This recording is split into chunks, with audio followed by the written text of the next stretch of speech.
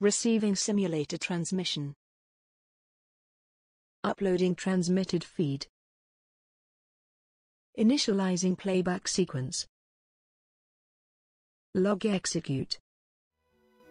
Hey everyone, Seipher here, and welcome back to Seipher Plays Pokemon Fire Red Nuzlocke. In the last episode, we defeated Blue at the Pokemon League, ending his 5 minutes of fame and became the champion of the Kanto region, thus completing the Fire Red Nuzlocke. Today, since we won, I figured we could celebrate this achievement by traveling across the entire region of Kanto in a sort of victory lap. So, let's just check my team and head out. Wait, what? Ha ha. Check your email, loser. What the heck? This isn't my team. And I certainly didn't change things around or have all these Pidgeys and Rattatas. Uh, what's going on? Well, it said to check my email, so let's see what we've got here. What's this? To the 2-bit hack known as Seipher. 2-bit hack? What the...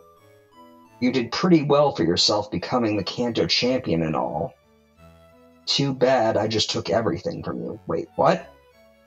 I've been robbed? Your title, identity, wardrobe, even your starter. Wait, you. Maverick's been pilfered? What the heck? Between you, the old man, and the loser? Oak? Blue? You robbed them too? What the heck? I'm in a league of my own. If you want revenge, I'll be at the peak of Mount Silver.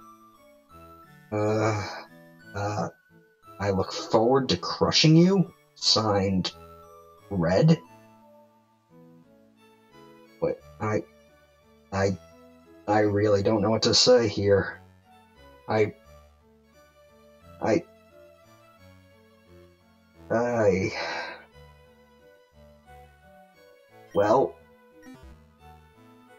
well, guys, I guess a change of plans is in order. Looks like I have to cash in a few favors and get a new traveling outfit. We've got an identity thief to hunt down. Playback sequence terminated. Transmission disconnected.